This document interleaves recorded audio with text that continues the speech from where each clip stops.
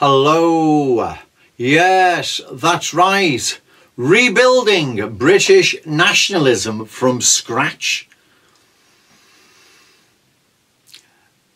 Can you believe Joe Owens is making this video in his back room with his books, talking about rebuilding British nationalism from scratch? Can you believe what you're watching now? Because it's hard for me to contemplate what I'm now embarking upon. You see, we had the most successful British nationalist party in history, and Nick Griffin handed it over. Literally handed it over, surrendered it to Hope Not Hate agents Adam Walker and Clive Jefferson.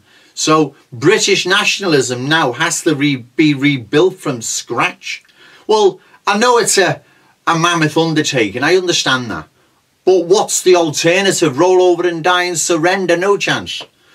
Our beloved Great Britain and our forgotten and beleaguered people need us more than ever. They're in peril and we can't abandon them. And I'm, I do not in, intend to. I'm going to do my best.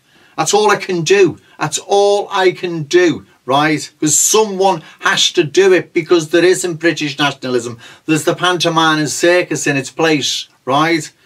That no one ever seems to want to attack even you, Nick Griffin.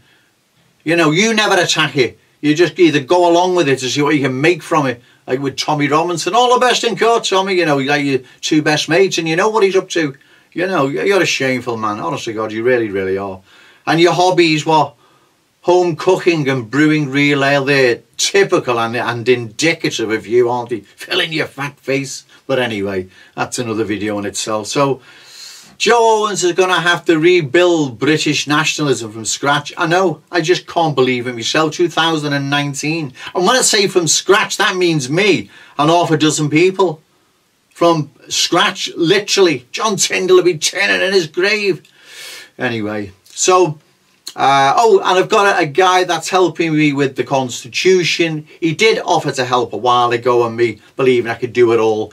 Uh, didn't take up his offer but I am now, so thank you. And uh, hopefully the Constitution will um, be good enough to pass the Electoral Commission uh, standards or whatever it is, and then we're up and running. Right, I've got a five-year plan laid out for Liverpool. I've got some amazing, amazing ideas, strategies, the right message, you name it. Trust me, I have. Right, so it's going to get done, ladies and gentlemen. It is going to get you know, there's going to be British nationalism again. It's going to have to be built from scratch, literally, right? Literally from scratch. How I'm going to perform, I don't know.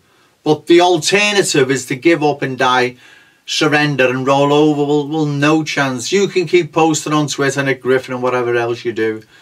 I don't know why you do that because if it's all over, what's the point? Plus, it doesn't achieve anything anyway. You should roll your sleeves back up right? Get off the real ale and steak and ale pies. Instead of walking in the hills, put a backpack on start running and get fighting fit again for some real politics instead of the nonsense you're pursuing at the moment.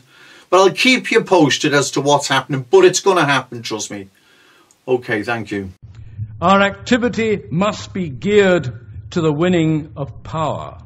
That still has to be said to some people in our movement, here in America, back in Britain, and everywhere else. They are crusaders for the truth, but they don't relate it to the necessities of winning power. It cannot be said enough. Power is what must be won. First, just a little bit of power, then more power, and finally complete power. Activity geared to anything else is a waste of time.